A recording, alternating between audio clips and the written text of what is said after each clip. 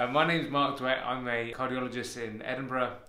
I'm also a researcher. I spend half my time uh, doing research, and my interest is in using novel methods of imaging to, to look at the heart and to try and work out what's causing uh, disease processes within it, and then trying to come up with treatments to improve the way that we look after our patients. So we're doing uh, big studies in patients with heart attacks, in patients with aortic valve disease, in patients with heart muscle disease.